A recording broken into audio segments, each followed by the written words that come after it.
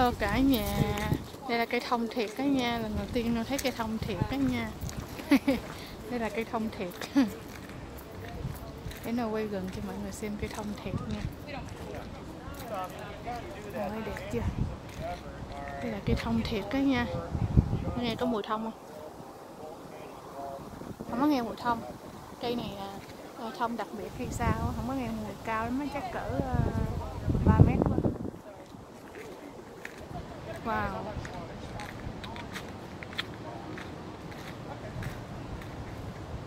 Coi như là một rừng thông luôn á Dan là Mr. Dan Mr. Dan đang làm gì nè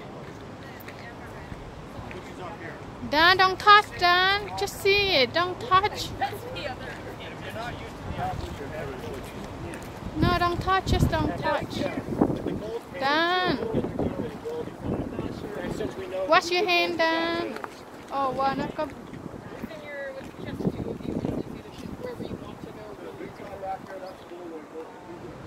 Wow, nó ỉ nè Con gì đây? Nó chỉ thích coi thông thôi à. Nó chỉ thích coi thông mà. Nắng quá trời luôn nè.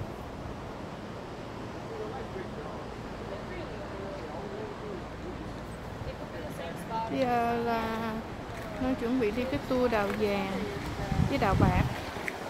Qua wow, khác nè, giống Đà Lạt không? Giống Đà Lạt á ha. Đà Lạt á ha. Đẹp quá nè. Đó. Cảnh đẹp thơ mộng quá trời luôn. Con này là con gì nhỉ?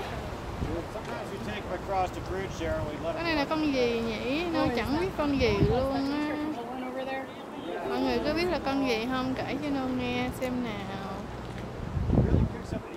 đây Mr. Dai mê lắm giờ hoài Ow! Oh, so scary Be careful Dan, wash your hand Dan oh, Mọi người có nghe thấy tiếng xe lửa không? Đó, xe lửa đang chạy ngang nè Mọi người có thấy xe lửa không? Đó Xịt xịt xịt xịt đó Wow Cảnh đẹp quá nè Có ai muốn đào vàng không? Có ai muốn uh, vào ha. Không? Tới uh, thành phố Silver Plum đào vàng nha. Được Denver, Colorado đi đào vàng nha. Bye bye.